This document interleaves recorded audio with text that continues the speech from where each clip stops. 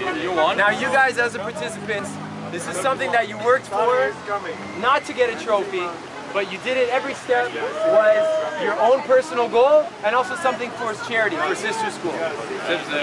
You guys have done a great job. Of course, I would like to award this to someone who came in first. So 31 minutes. Congratulations, Alejandro.